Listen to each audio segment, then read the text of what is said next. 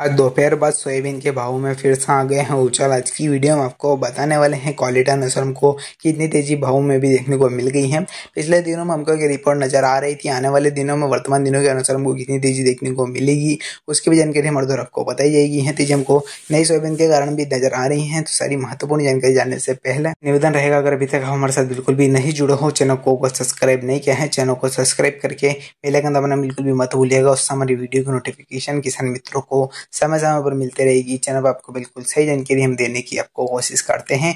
आपका कोई डाउट रहता है, किन किन मंडियों का भाव आप जाना चाहोगे, उन सारी मंडियों के नाम भी किसान मित्रों आप कमेंट बॉक्स में ज़रूर लिखिएगा।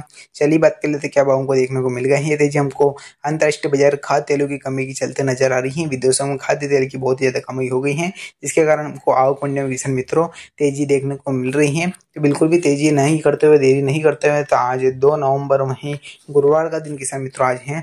तो सबसे पहले हम बात करें रतलाम मंडी की तो पाँच हज़ार तीन सौ रुपये प्रति क्विंटल, गुजर राजकोट पाँच हज़ार रुपये प्रति क्विंटल, किशनगंज मंडी पाँच हज़ार दो सौ सत्तर रुपये, टोंग मंडी छः हज़ार रुपये, प्रतापगढ़ मंडी पाँच हज़ार पाँच सौ रुपये, बिहार बेगूसराय चार हज़ार दो सौ तीस रुपये, कोटा मंडी चार हज़ार आठ सौ पचपन रुपये।